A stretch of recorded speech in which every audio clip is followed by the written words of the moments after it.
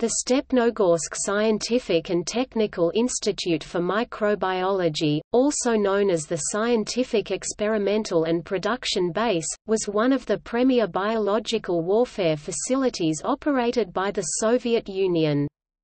It was the only Biopreparat facility to be built outside of Russia proper, and one of the few ever visited officially by Western experts.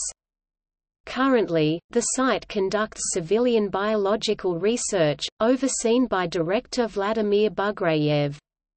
The United States Department of State and the U.S. Civilian Research and Development Foundation now provide significant funds supporting civilian research at Stepnogorsk.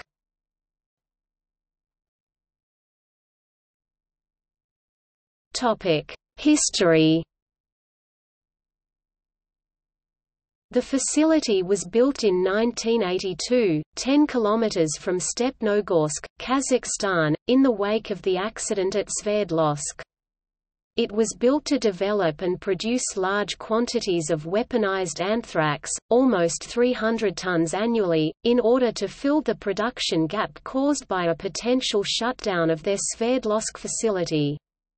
Soviet leadership placed Colonel Kanatjan Alibekov aka Ken Alibek in charge of the base until his transfer to Moscow in 1987.